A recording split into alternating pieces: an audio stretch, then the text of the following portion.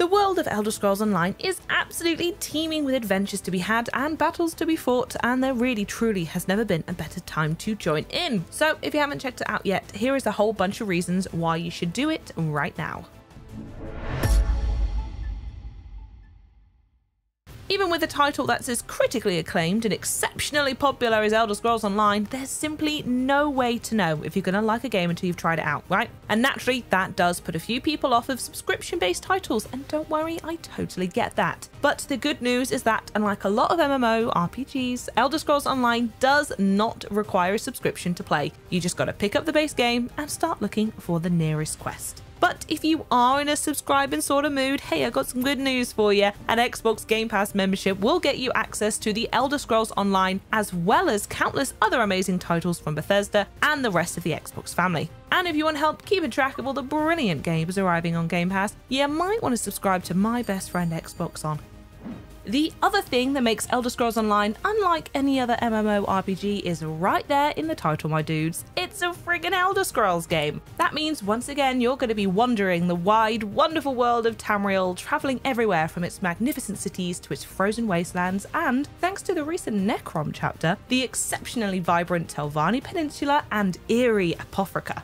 And actually, there's a lot more to do than just walk around and taking in the sights too, because each area is filled with memorable characters to meet, deadly enemies to battle, and of course, epic quests and stories to undertake during your adventure in Tamriel's second era. You'll even have the opportunity to revisit some iconic locations from other Elder Scrolls games if you are that way inclined, like the demonic realm of Oblivion and the regions of Morrowind, Skyrim, and elsewhere. Fair warning for that last one though, my dudes, there are going to be a fair bit of dragons. Basically, it has all the rich world building and intricate storytelling you'd expect from an Elder Scrolls game, only this time you can play along with tons of other adventurers online. Adventuring solo is totally welcome as well, it's entirely up to you. Now, while the characters you'll encounter in Elder Scrolls Online all have their own wonderfully well written personalities, they are not the only people you should be excited to meet because the game also has its own thriving community of players. With tons of players populating the persistent world of Tamriel each day, the realm has never been more alive than it is right now, right this second, making it kind of the perfect place to connect to your fellow fantasy fans. Plus, there are a ton of players' guilds roaming the lands, always on the lookout for new members. Ideal if you want some backup for that next tricky quest or just someone to hang out with. You know, we've got an Xbox on Guild, let us know if you want an invite. The other thing that can make a game this vast, kind of daunting, I guess, for new players is the fear that you'll have to spend hours grinding before you're actually able to start exploring. Because no matter how stunning the scenery is, it's kind of hard to enjoy it if you're just getting your ass kicked in a bunch of new locations, right? So the good news is that Elder Scrolls Online scales your character to match the enemies in each zone, including the new areas you unlock by picking up the game's many, many, many, many wonderful chapters. This also means that if you're partying up with a more experienced player, let's say, which, you know, can be a great way to learn the ropes, you are not going to spend the entire time getting battered by ridiculously powerful enemies. Make no mistake though, you're still going to be in for a pretty serious challenge when you throw down with the game's bigger bads, but the level scaling ensures ensures that you are always free to travel wherever you want, whenever you want, and with whoever you want.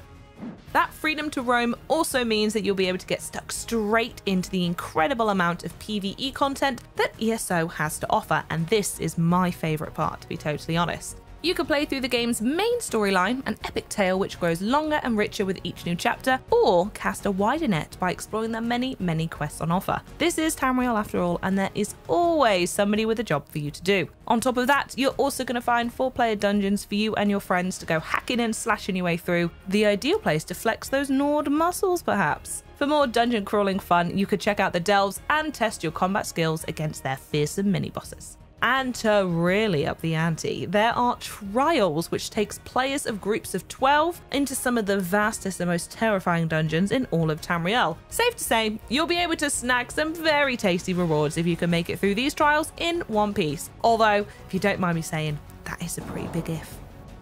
So it's kind of nice when we all get along, but with these swords, staffs, and battle axes lying around, you know, it'd be a shame not to test each other's metal from time to time now, wouldn't it? And Elder Scrolls Online also offers plenty of opportunities for players to do just that, with a robust selection of PvP offerings on the go. Should another player offend your honor in some way, you can invite them to settle the matter with an intense one on one duel. Also, it's a pretty good option if you just feel like having a scrap. But if it's full blown warfare you're after, and I can understand why, you can head into the Alliance War and battle alongside your fellow players in a series of bloody campaigns. Or, for the best of both worlds, Battlegrounds offers fast paced 4 versus 4 battles featuring a variety of game types. So, in conclusion, yes, there are a whole range of fun ways to batter the other players you encounter throughout Tamriel, because I'm certain you were about to ask me that.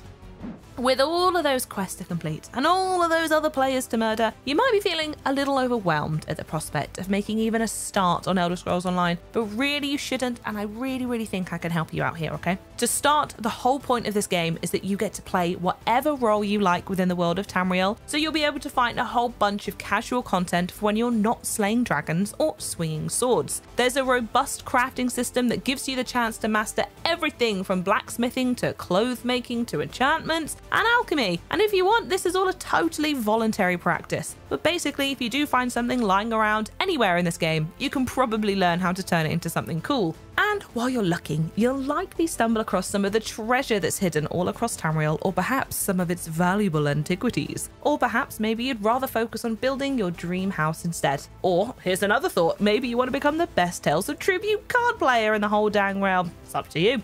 Then, when it's really time to unwind, and I mean really properly relax, you'll find a whole world of fishing spots just waiting for someone to come and sit quietly by them.